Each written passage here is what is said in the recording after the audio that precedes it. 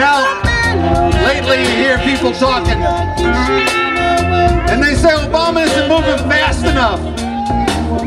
I want my change now. Well, change don't come easy.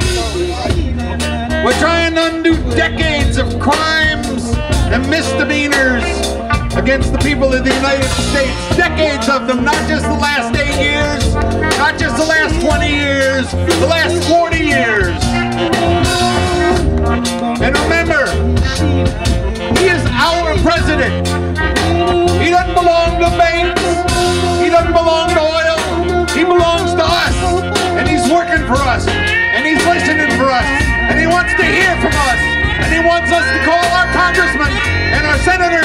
And he wants us to tell them we want single payer. We want gay rights.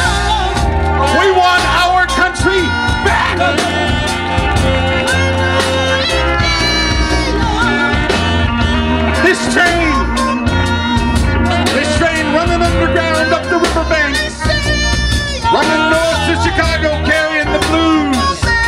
This freedom train, this train bound for glory. This is a long train. This is a stubborn train. This is a noisy train. Shoo-loo, shoo-loo, shoo-loo.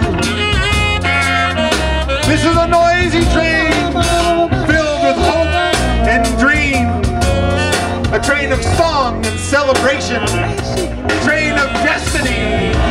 Bound for glory. This train.